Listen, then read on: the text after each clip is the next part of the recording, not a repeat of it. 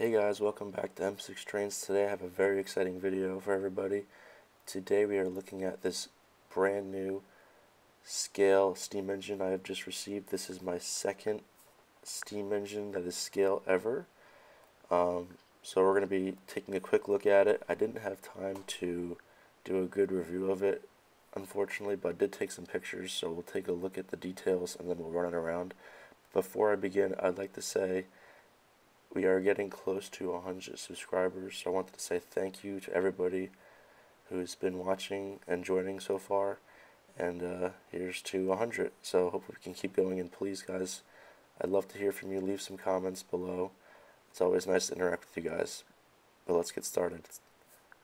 Alright, so before I show you what engine I wound up getting, um, this was kind of an impulse buy, um, but ordered it and I was like, ooh, am I going to want this for sure? I wasn't sure, so I kept looking back at the catalog. I was like, do I really want this? But in the end, after opening it up, I am in love with this engine. This is probably one of my favorite engines I own now.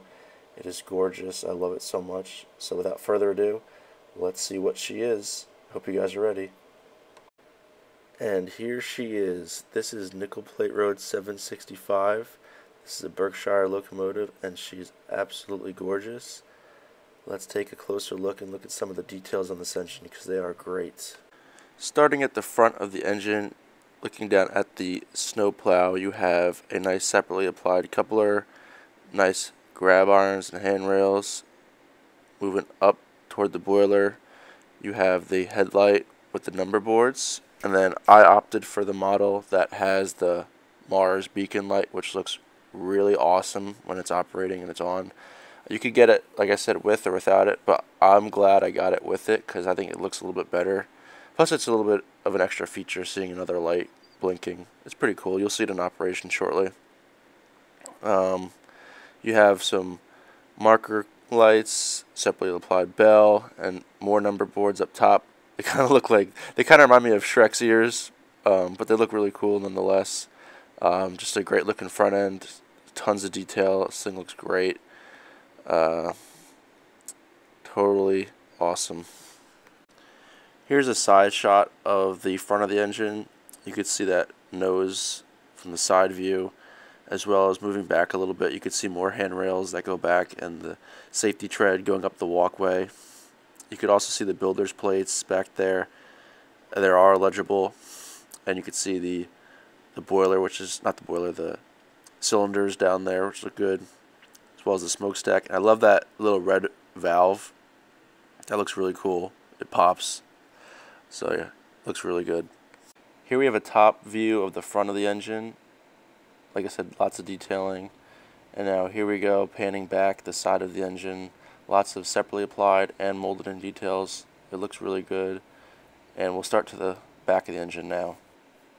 Here you can see all the nice valve details and dynamos and other separately applied details. They look really nice, really makes this engine pop. Looks great.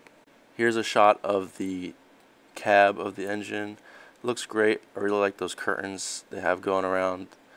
Uh, you can see the nice detailed back head. There are two crew figures in there. Looks really nice. Uh, the firebox does light up and there is an interior light that shuts off when the engine starts to move. Um, let's take a look at the tender. Taking a look at the tender here, you can see a real coal load. Also, the molded and rivet details look great. There are some separately applied handrails. And taking a look at the back here, you can see the separately applied lights and reverse light, the electro coupler back there, and the coupler bar.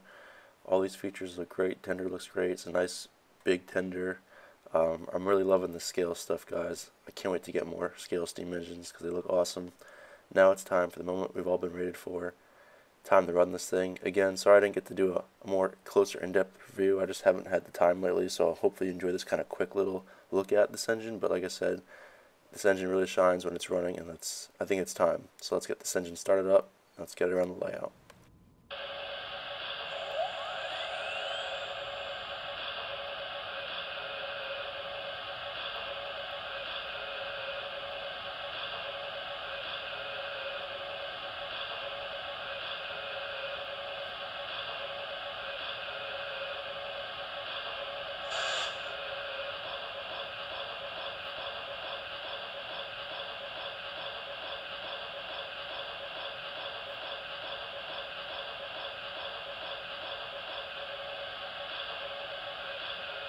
On that water level, will you?